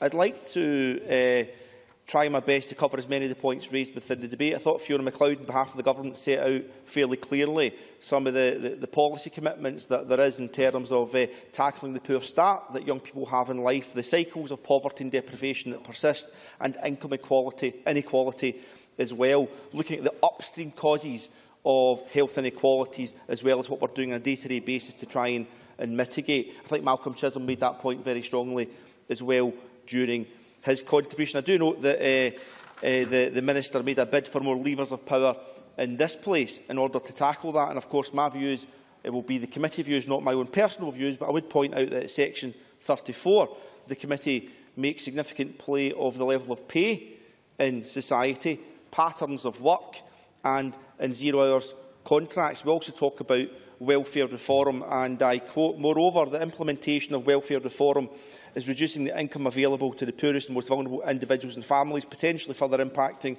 on health and well-being inequality. So we concluded that also within our report. I think irrespective of what the levers of power are within uh, politics and society, uh, presiding officer, this Parliament has to scrutinise all the policy decisions that are taken that could impact on health inequalities. And that's a commitment I think we all have to give. Jenny Mara spoke, uh, made an interesting speech talking about uh, primary care teams in part in relation to the funding that community and primary care receives. I, I'd maybe put on record that the Health Committee met earlier on today with the North, Northern Ireland Health and Care Committee who were looking at ways in which you withdraw from the acute sector and moving more into primary care. And one of the things they're actually looking at is less targets in terms of things like elective surgery to disinvest from certain areas. So there's challenges across Parliament if that's the road that we decide to, go down. Nanette Milne uh, spoke uh, passionately about the role of health visitors, and I know that's something she feels very powerful about, and the work that this government's done